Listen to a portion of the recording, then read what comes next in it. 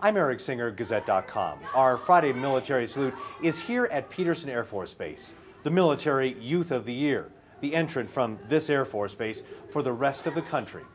And she's learned this life lesson firsthand. Life isn't about finding yourself, life is about creating yourself. I don't know. I can't. It's not dodgeball. It's not football. It's not tag. I think it's toilet. It's a toilet bowl. Nikki. No, it's not. Jennifer Choate is 16, going on 40, maturity wise. Let me wait till they're gone. Are we gonna start? Grown up in youth programs as a military dependent, a veteran volunteer to help others in them. No, I got you first. What motivates you to do this? My mother motivates me to do this, and the thoughts she's instilled in me to always show my character, to help whenever I can.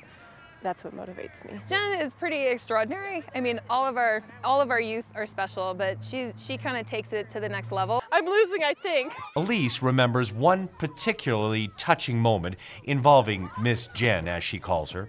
A little girl was having some family issues. Miss Jen sat with her for about an hour doing art projects and just talking to her, and this little 12-year-old girl left just feeling better about herself and about her family situation. Hi, Ayana. Do you go to James Irwin? Win or lose the title of Military Youth of the Year, Jennifer Choates wants to win over other teens to spark their volunteer spirit. I got you first. Yes, I did.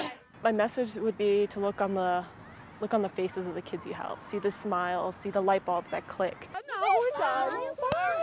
With your Friday military salute, How was that? Eric Singer, Gazette.com. It was fun.